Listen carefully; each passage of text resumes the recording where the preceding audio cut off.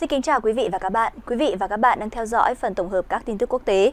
Mở đầu sẽ là một số tin tức liên quan đến tình hình xung đột Nga-Ukraine. Do bối cảnh mối quan hệ giữa Nga và Tổ chức Hiệp ước Bắc Đại Tây Dương NATO ngày càng leo thang, đặc biệt khi mới chỉ vào tháng trước thì những diễn biến căng thẳng trên Biển Đen giữa Nga và NATO cũng đã dấy lên nguy cơ đụng độ trực tiếp giữa hai bên.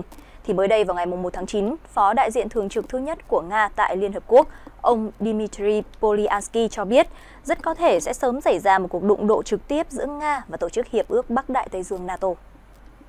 Bình luận về giả định của người dẫn chương trình người Mỹ Tucker Carlson về sự bùng phát đụng độ giữa Mỹ và Nga vào năm tới, ông Polyansky nói rằng, chúng tôi đã cảnh báo nhiều lần rằng tình hình rất nguy hiểm và có nguy cơ lớn xảy ra xung đột trực tiếp giữa Nga và NATO.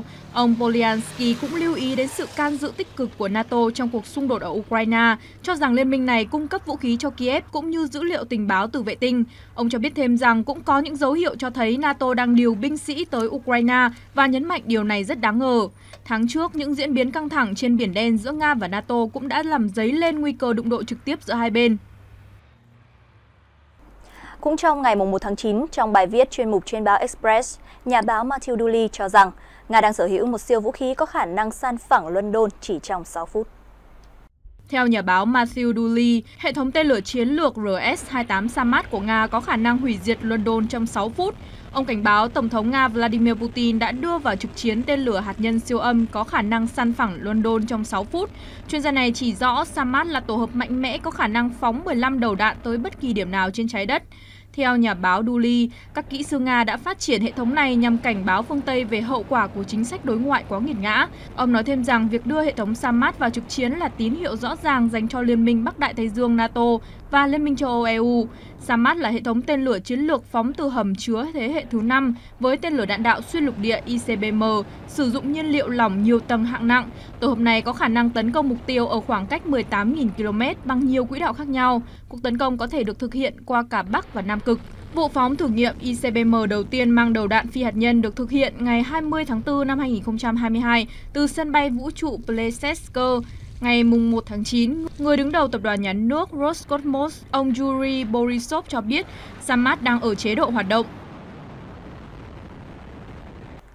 Giữa bối cảnh cuộc giao tranh giữa Nga và Ukraine vẫn diễn ra vô cùng căng thẳng, thì mới đây các lực lượng Ukraine tuyên bố đã chọc thủng phòng tuyến đầu tiên trong hệ thống cứ điểm của Nga ở tỉnh Zaporizhia. Dấu hiệu Kiev đang tiến sát mạng lưới phòng tuyến của Moscow dọc theo tiền tuyến phía nam. Quân đội Ukraine nói rằng lực lượng của họ đang tiến mạnh về phía ngôi làng Novoprokopevka nằm về phía đông của Robotine, một ngôi làng ở Zaporizhia mà Kiev chiếm được vào tuần trước trong cuộc phản công. Trước đó, để chiếm được Robotine, các binh sĩ Ukraine đã phải đánh chiếm một dạng cây bên ngoài ngôi làng. Sau đó, lính Ukraine phải đi bộ khoảng 9 km qua các cánh đồng giải đầy mìn để tới ngôi làng này. Ngoại trưởng Ukraine Dmytro Kuleba cho biết kế tiếp họ chỉ có chút ít thời gian để nghỉ rồi lập tức đột kích vào các vị trí quân Nga, đẩy đối phương ra khỏi nơi đây rồi giữ vững nơi này chờ chủ lực của Ukraine tới. Bộ Tổng tham mưu quân đội Ukraine thông báo vào hôm 1 tháng 9. Họ đã thành công đang củng cố vị trí pháo kích các mục tiêu đối phương đã bị nhận diện và thực hiện các hoạt động phản pháo. Các binh sĩ Ukraine cho biết dự kiến sẽ có các trận đánh nhằm giành quyền kiểm soát đối với các cao điểm nằm về phía nam và đông của ngôi làng Novoprokovka Khi họ tiến tới lớp phòng ngự tiếp theo của Nga, mục tiêu dài hạn của Ukraine là phá vỡ cầu đất của Nga hiện nối bán đảo Crimea với đất liền Nga. Tin tức về bước tiến mới của quân Ukraine xuất hiện trong bối cảnh Mỹ và các đồng minh phương Tây nhận thấy đà tiến chậm chạp của cuộc phản công do Ukraine tiến hành. Vẫn vào hôm 1 tháng 9, Ngoại trưởng Ukraine Dmytro Kuleba nói với CNN rằng Kiev không thất bại và vẫn đang thúc đẩy chiến dịch phản công. Ngoại trưởng Kuleba nói các đối tác của Ukraine, trong đó có Mỹ, đang giúp đỡ Kiev. Họ hiểu rằng mọi thứ đang vận hành đúng hướng và đây là cuộc chiến gian khó. Trước đó, vào hôm 31 tháng 8, tướng Sehi Baranov nói với truyền thông Ukraine rằng Kiev đã hưởng lợi từ tầm xa của các cỗ pháo do NATO cung cấp. Ông cho biết pháo binh Nga chỉ có tầm bắn trung bình là 24 km, còn vũ khí cung cấp cho Ukraine có thể bắn xa từ 30 đến 40 km. Tướng Baranov nhận định điều này giúp phá hủy hoặc làm hư hại pháo đối phương cũng như giúp đẩy pháo binh đối phương lui sâu hơn vào nội địa, từ đó ngăn ngừa phản pháo nhằm vào lực lượng pháo binh của Ukraine. Theo các quan chức Mỹ, hiện Ukraine có thể đối phó hiệu quả hơn với trực thăng tấn công của Nga, vốn cản bước xe thiết giáp và binh sĩ Ukraine trong đợt phản công của Ukraine trong 3 tháng qua bằng cách sử dụng tên lửa phòng không Stinger.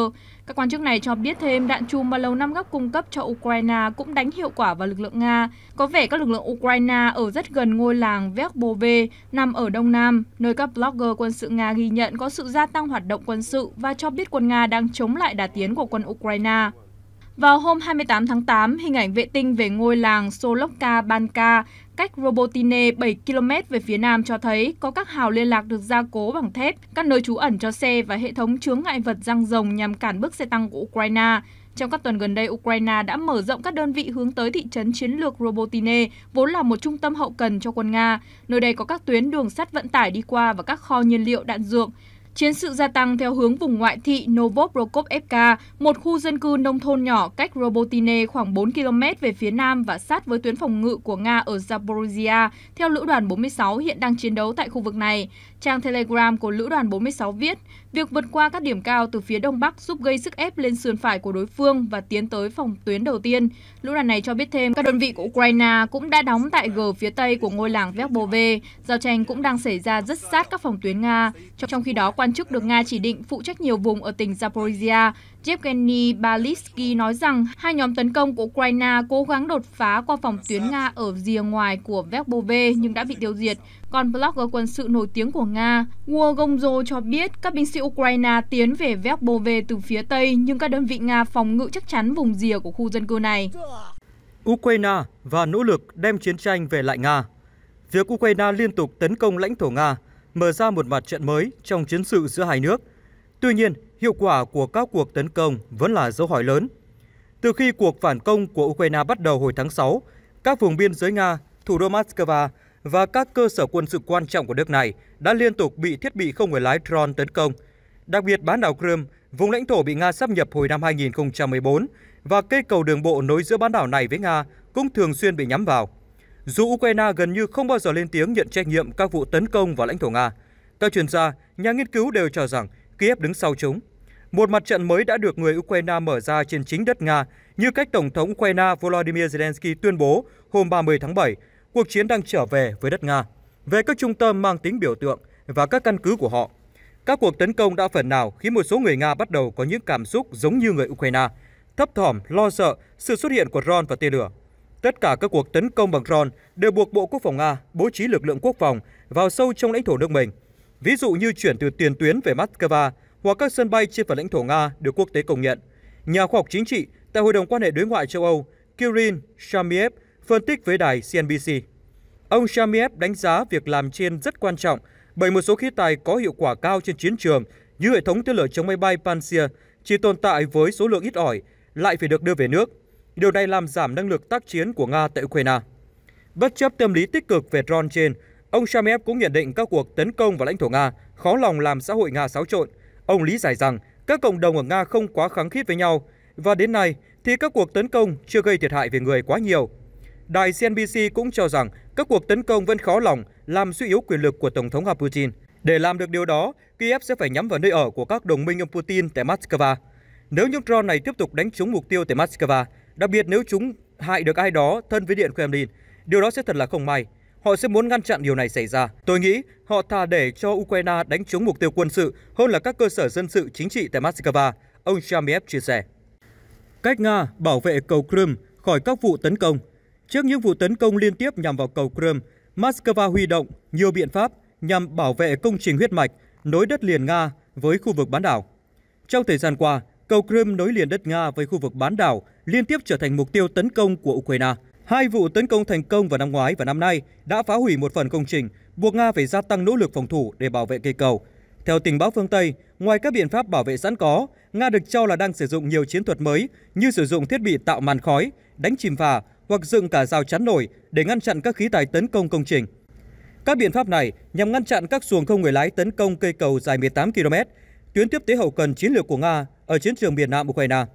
Tổng cục Tình báo chính của Bộ Quốc phòng Ukraine GUR tháng trước cho biết Moscow được cho là có kế hoạch đánh chìm ít nhất 6 phà ở eo biển Kerch trong nỗ lực bảo vệ cầu huyết mạch nối giữa bán đảo Crimea và đất liền Nga khỏi các vụ tấn công bằng xuồng cảm tử không người lái. Hồi đầu tuần, Hình ảnh vệ tinh cho thấy Nga dường như đã thực hiện biện pháp này, theo BCD Insider. Theo tình báo phương Tây, 6 con phà bị đánh chìm cách nhau khoảng 160 mét. Ukraine không nói rõ Nga đánh chìm phà bằng cách nào. Kiev cho rằng Nga định đặt các rào chắn giữa các con phà đắm để tạo ra phòng tuyến trên biển bảo vệ cầu Crimea. Tương tự như lưới chống ngư lôi, hệ thống rào chắn trên biển là các rào cản vật lý hoặc lưới vây quanh các mục tiêu cần bảo vệ trên biển, cửa vào cảng, eo biển khỏi nguy cơ bị tấn công. Hệ thống rào chắn bắt đầu được sử dụng từ thời Thế chiến thứ hai. Ngoài ra, để bảo vệ cây cầu, Nga cũng sử dụng thiết bị tạo khói trong một nỗ lực khiến cây cầu trở thành mục tiêu khó tấn công hơn. Khói ngụy trang có tác dụng cản trở đối phương quan sát mục tiêu. Ngoài ra, các đám khói này cũng có các chất hóa học có khả năng làm các thiết bị quang điện bị giảm khả năng hoạt động, từ đó khiến các khí tài có khả năng tấn công chính xác cao bị giảm hiệu quả nhằm vào mục tiêu. Nga có khả năng điều chỉnh thời lượng và mật độ của đám khói theo các yêu cầu cụ thể. Một đám khói ngụy trang có thể được duy trì từ 2 tới 6 giờ. Ngoài ra, Nga sử dụng các hệ thống phòng không như S-300, S-400 để đối phó máy bay không người lái, tên lửa hành trình nhắm vào cây cầu. Nga cũng huy động các hệ thống rào chắn nổi, thiết bị thường dùng để kiểm soát dầu loang như một biện pháp ngăn chặn các xuồng cảm tử lao tới cây cầu. Theo giới quan sát, vụ việc cầu Crimea và một số vụ hạm đội biển đen của Nga bị tấn công trước đó đã cho thấy mối nguy hiểm của xuồng cảm tử với các mục tiêu quan trọng của Moscow tại những khu vực mà họ chiếm ưu thế áp đảo trước Ukraine. Scott Savitz, nhà phân tích cấp cao của tổ chức nghiên cứu Rand Corporation, nhận định các xuồng cảm tử gắn thuốc nổ của Ukraine có thể được xem là khí tài đáng gờm chống lại các hạm đội và thậm chí cả cơ sở hạ tầng quan trọng của Nga tại Biển Đen. Nga đánh chìm tàu, dùng máy tạo khói để bảo vệ cầu Crimea khỏi nguy cơ bị Ukraine tấn công. Theo tình báo Anh, Nga đang sử dụng máy tạo khói và hàng rào chắn dưới nước bằng các tàu chìm để cố gắng bảo vệ cây cầu quan trọng dẫn tới Crimea khỏi các cuộc tấn công của Ukraine. Theo iNews, một bản cập nhật từ Bộ Quốc phòng Anh MOD tiết lộ quân đội Nga đang sử dụng một loạt biện pháp để duy trì cầu Kerch nối từ Nga tới Crimea để hỗ trợ cho lực lượng của họ ở khu vực Kherson và Zaporizhia. Các biện pháp mới này bao gồm máy tạo khói, rào chắn dưới nước để ngăn tiếp cận cây cầu Crimea từ phía Tây. Nga đã tăng cường các biện pháp bảo vệ cầu Kerch sau khi cây cầu bị tấn công bằng xuồng không người lái vào ngày 17 tháng 7. Nga đang triển khai một loạt hệ thống phòng thủ thụ động như máy tạo khói và rào chắn dưới nước, bên cạnh các biện pháp phòng thủ chủ động như hệ thống phòng không để ngăn việc tiếp cận cây cầu, giảm thiểu thiệt hại từ các cuộc tấn công trong tương lai. Thông báo cho biết, cầu Crimea còn được gọi là cầu Kursk, bắc qua eo biển Kursk giữa bán đảo Taman của Krasnodar Krai và bán đảo Kursk của Crimea. Bộ Quốc phòng Anh mô tả đây là nút thắt cổ trai trong việc hỗ trợ hậu cần quân sự cho lực lượng Nga tại các khu vực Nga đang kiểm soát tại Kherson và Zaporizhia. Họ cho biết đã thu được những hình ảnh cho thấy người Nga sử dụng tàu chìm và cần cầu để tạo ra hành rào dưới nước nhằm ngăn chặn các phương tiện mặt nước không người lái USV hoặc các cuộc tấn công bằng máy bay không người lái trên biển vào cây cầu này. Ở phía nam của cây cầu, các tàu bị chìm được đặt cách nơi xảy ra vụ tấn công USV của Ukraine hồi tháng 7 khoảng 160 mét. Những tuyên bố của Bộ Quốc phòng diễn ra sau tuyên bố của Tổng cục Tình báo Quốc phòng Ukraine GUR rằng Nga đã lên kế hoạch đánh chìm ít nhất 6 tàu thủy cạnh cây cầu để tạo ra một làn đường bảo vệ phía trước nó. GUR cho biết Nga cũng có ý định lắp đặt các rào chắn giữa những chiếc phà bị chìm để bảo vệ cây cầu khỏi bị hư hại. Nhà nghiên cứu về lĩnh vực thông tin tình báo nguồn mở, ông H.I. Sutton bình luận rằng rào chắn bằng các con tàu chìm có thể có hiệu quả vừa phải trong ngăn thiết bị không người lái trên mặt nước và dưới nước. Ông nói thêm rằng có thể Nga sẽ treo dây xích và lưới giữa các tàu chìm để tạo rào cản. Những tấm lưới này có thể có hàng rào phía trên để ngăn chặn các xuồng không người lái cao tốc lao lên trên, ông Sutton nhấn mạnh. Tuy nhiên, Giám đốc Tổng cục Tình báo chính của Bộ Quốc phòng Ukraine HUR, ông Kirill Budanov cho rằng Nga sẽ không thể bảo vệ cây cầu Crimea trước các cuộc tấn công của xuồng không người lái hải quân bằng cách nhấn chìm tàu ở Biển Đen.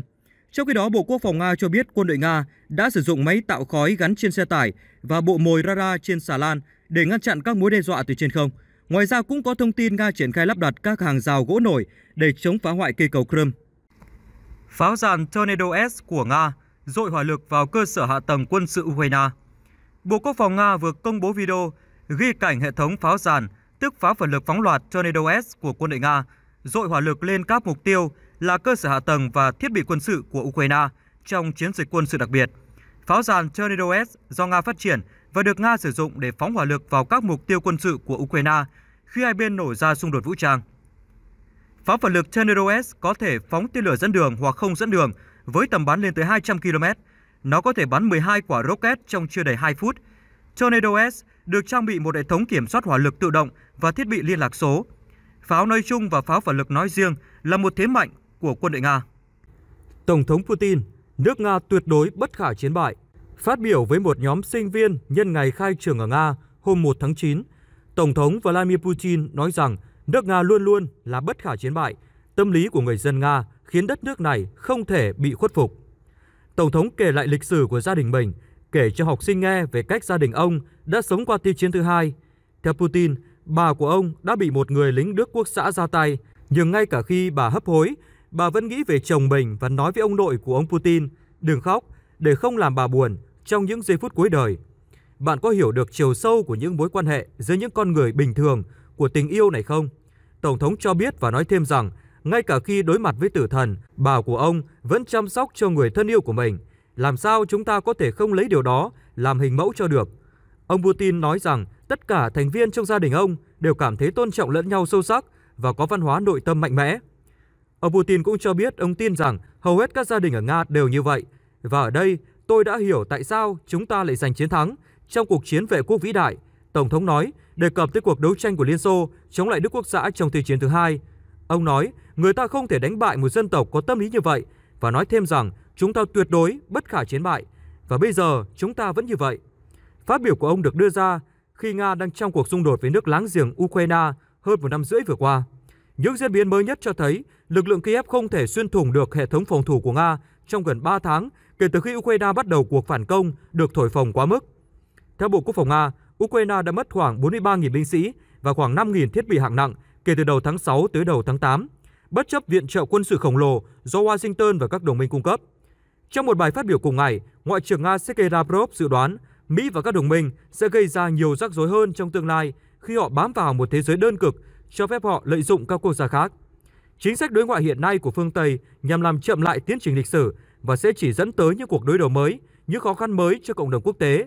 Ông Lavrov nói chuyện trước các sinh viên Viện quan hệ quốc tế MGIMO, một trường đại học hàng đầu của Nga, cái nôi của nhiều nhà ngoại giao Nga.